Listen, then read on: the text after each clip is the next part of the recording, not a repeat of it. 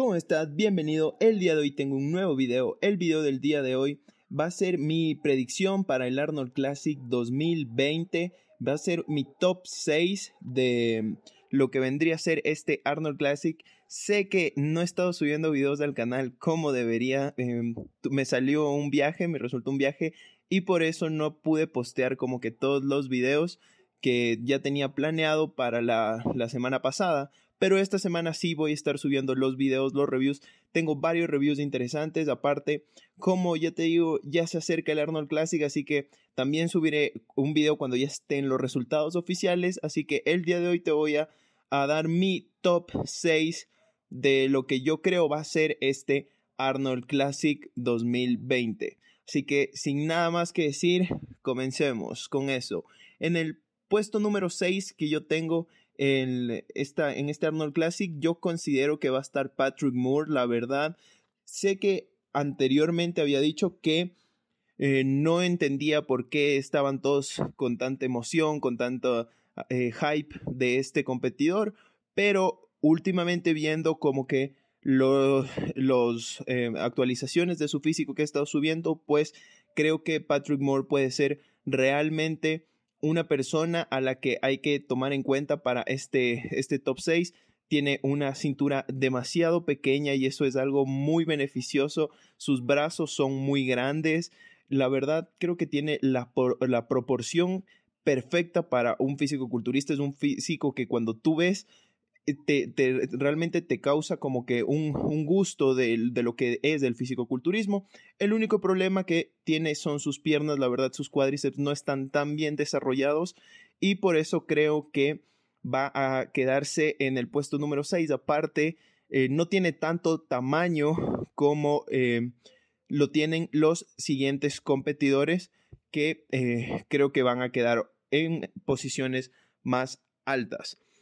De ahí en el puesto número 5, yo tengo a eh, eh, Steve Kuklo. Tengo a Steve Kuklo en el puesto número 5. Realmente Steve Kuklo, em, si bien no tiene eh, uno de los físicos más bonitos, por decirlo así, creo que Steve tiene eh, la condición siempre, siempre se presenta con una condición impecable. Aparte, ya fue top 6 en el Mister Olympia. La verdad, no esperaba que eso pase en el Mister Olympia del año pasado. Y no creo que sería prudente dejar afuera de mi top 5 a Steve Kuklo. La verdad, yo considero que puede quedar un poco más arriba, incluso. Ahora, en el puesto número 4 tengo a Cedric McMillan. La verdad, Cedric McMillan es uno de los competidores que yo creo que tiene uno de los mejores físicos actualmente en el, en el mundo del fisicoculturismo. Pero su problema es la condición, no se ha logrado presentar con eh, una condición que esté demasiado como que fuera de, de lo normal para, para la actualidad. Y yo creo que Cedric no, no va a lograr eh, como compararse al nivel de acondicionamiento que van a llegar los otros tres competidores que van a estar encima de, él en este, en este top. Eh, Cedric McMillan aparte eh, suele presentarse siempre mejor en el Arnold Classic que en el Mr. Olympia, por eso lo pongo a Cedric em, encima de Steve Kuklo, aunque Steve Kuklo se clasificó mejor que él en el Mr. Olympia de este, del año pasado pero sé que Cedric puede darnos una sorpresa y no hay que dejarlo afuera nunca. Ahora, en el puesto número 3, en el puesto número 3 tengo a la leyenda, el mito Dexter Jackson. La verdad, que, em, qué tristeza enterarse que este va a ser su último año. Probablemente estamos viendo las últimas competiciones de Dexter Jackson. Dijo que ya para el Mister Olympia se va a retirar, es un competidor con 50 años, el fisicoculturista más ganador de la historia, ha ganado 29 competiciones profesionales, realmente es algo que nunca se ha hecho antes y Dexter Jackson ya me cerró la boca cuando yo ya lo daba por acabado en el Mister Olympia.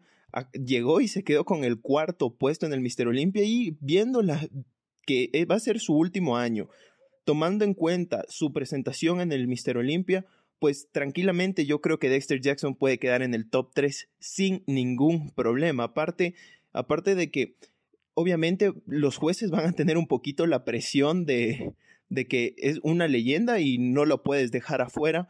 Y mm, esto sin quitarle mérito a Dexter Jackson, que obviamente tiene uno de los físicos más increíbles que se ha visto sobre un entarimado. De ahí, en el puesto número 2, me voy a arriesgar y lo voy a poner a William Bonac.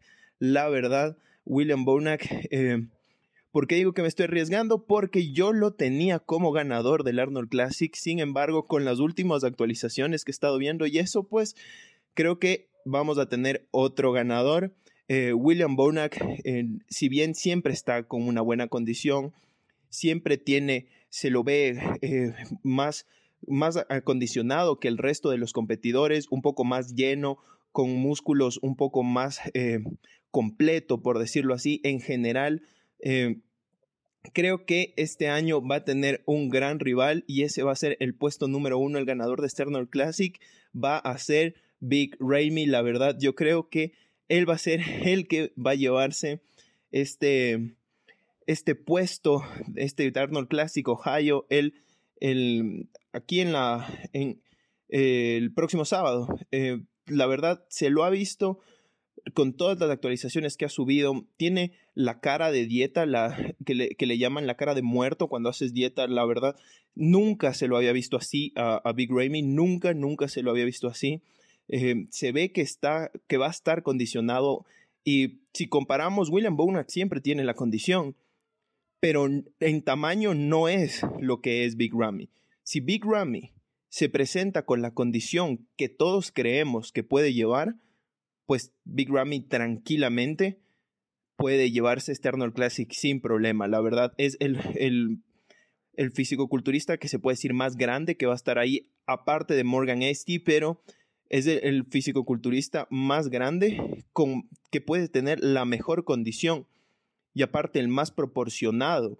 O sea, Big Ramy tiene todo para ganar este Arnold Classic 2020 si es que no nos decepciona con la condición que es realmente el problema por el cual Big Ramy se tuvo que, mantener afuera de, del ah, eh, el Mister Olympia del año pasado, ya que su entrenador en el momento, Neil Hill, le dijo que tiene que trabajar en eso, tiene que trabajar en la condición.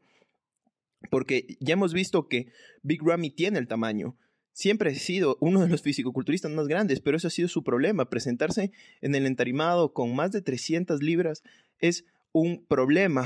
Eh, porque es muy difícil llegar a ese peso con la condición necesaria para ganar una competencia como el Mister Olympia o el Arnold Classic, pero este año creo que va a estar un poco más abajo de las 300 libras, tal vez estén las 285 libras, tal vez un poquito menos, pero yo creo que Big Ramy es la amenaza más grande de Arnold Classic y por eso le doy el primer lugar. También quiero eh, como que mencionar para que no, no nos, eh, nos tome por sorpresa si llegara a pasar, a Sergio Oliva Jr., que se puede también, vamos a tener una muy linda pelea entre Sergio Oliva y Patrick Moore por ese sexto puesto. Yo se lo di a Patrick, pero Sergio Oliva ha estado subiendo uno de estados donde se lo ve increíble. Realmente Sergio Oliva está de lo, de lo último que se supo pesando casi 280 libras.